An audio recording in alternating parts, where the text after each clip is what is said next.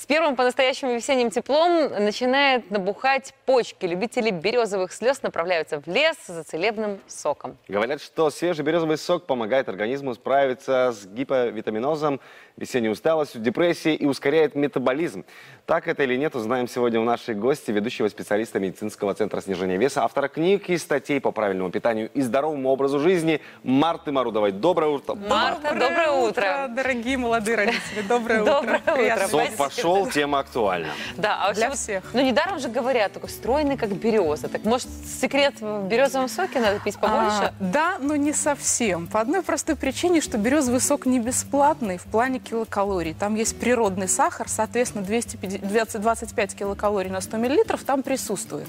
Поэтому, если мы пофантазируем, что человек захочет свой питьевой режим в виде 2 литров негазированной воды заменить березовым соком, то он получит 500 килокалорий наверх на свой колораж. И это уже не совсем про стройность. И, ну, естественно, это мы говорим вот об- о, свежем, который вот только Конечно, что приехал безусловно, из мы не лесу. говорим о консервированных банках из магазина. Это, это мы вообще не обсуждаем, это, сахар. забыли, да? Мы про это не говорим сейчас, мы говорим А о свежем, домашний консервированный как же, Домашний березовый сок? консервированный сок прекрасен, если он натуральный, без добавления сахара, ягод и при- всех остальных Я думаю, сейчас все ребята которые- скажут, эх, так же ж стоять не Не будем. То есть, будет то стоять. есть березовый сок не теряет своих э, там, ну, каких-то, не знаю, целебных или полезных свойств? Если и- его правильно Ну, консервировать. какой температуры нужно? Его нужно не до большой, до 80 градусов и консервировать в натуральном виде, либо замораживать. Кубики льда – прекрасное косметическое средство. Если пить внутрь, то это калий, натрий, кальций, магний, фитонциды, полезные для иммунитета, укрепление здоровья, противовирусные, э, иммуномодулирующие. То есть прекрасный, замечательный продукт.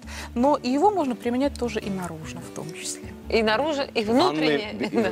в- ванны в березовом соку. Ну, Ну, если это нужно, столько да, его это- собрать, это нужно очень- очень много собрать, ходить, очень много нужно. собирать. А как быть с квасом? Вот, э, ну, популярный белорусский продукт. Который с хлебом, квас, который с холодненький, такой еще. Он еще с пузырьками. если там А, подсброженный Да, да, да, прекрасный да, да, березовый да, сок. Понимать о том, что там есть градус, ну, Я же к этому естественно, поэтому такой прекрасный квас всегда ну, на Руси, в нашей стране, то в том числе он был как дополнение к праздничному столу.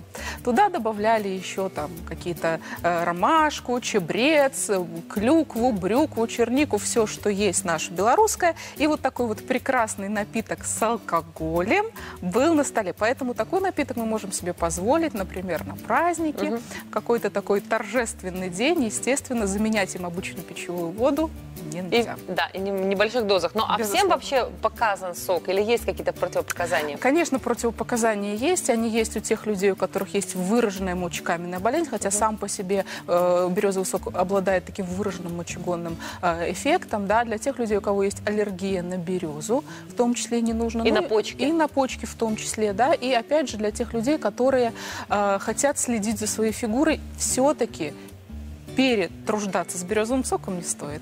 Э, Употреблять его три раза в день, но там перед завтраком, обедом и ужином по одному стаканчику будет вполне достаточно. То есть для того, чтобы, ну, скажем так, слегка оздоровиться, не замораживая, э, березовый сок стоит употреблять э, сезонно. То есть вот он Сезонно, появился, свежий. Безусловно, он есть свежий всего лишь там несколько недель. Поэтому хранить его в холодильнике неделями, месяцами никакого смысла нет. Он хранится двое-трое суток максимум. Потом та пленочка и те микроорганизмы, которые там образуются, вред гораздо больше, чем польза, которую несет в себе этот сок. Поэтому мы его пьем немного, берем там небольшие дозировки, выпиваем фактически сразу же, получаем пользу, оздоравливаемся и э, все счастливы. Да, а детям, кстати, можно березовый сок? А Детям можно березовый сок, если нет индивидуальной непереносимости. Поэтому, если ребенок очень маленький, мы начинаем совсем с маленькой-маленькой дозировки по чайным ложкам. То есть сразу оздоравливать ребенка большими дозами, То есть конечно, прикорм не имеет березовым соком. Вот Для этого ложечку и, по- и ждем и реакцию. подумать еще по прикорму, но уже когда человек в садовского возраста, осознанно говорит, ходит и ест все с общего стола, вполне можно себе попробовать.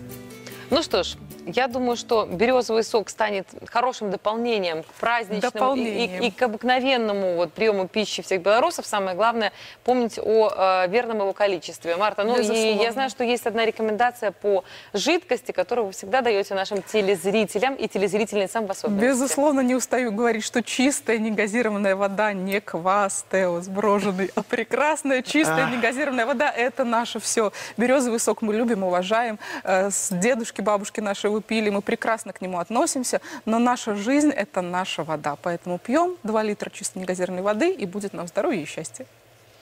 Я думаю, все все вняли, все понятно, все развернуто. Березовый сок полезен, но в меру.